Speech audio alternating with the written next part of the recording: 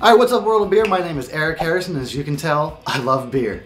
So I actually run a YouTube channel called the Death Twitch Horror Review. So far with an audience of 5k and growing. Not only do I do these horror reviews, but I actually incorporate beer into my channel by doing something I call a drunkentary. And you guessed it, it's essentially just a film commentary in which I'm throwing a few back, talking about the movies, having a good laugh, talking about what I'm drinking.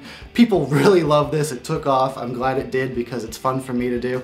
It's fun for people to listen to. I've been doing this channel for over three years. I'm used to being on camera. I'm very comfortable on camera. Uh, I know my way around an editing system. And I talk to my audience all the time on social media.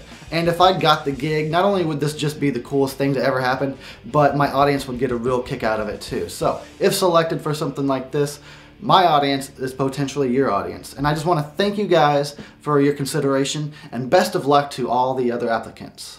Cheers.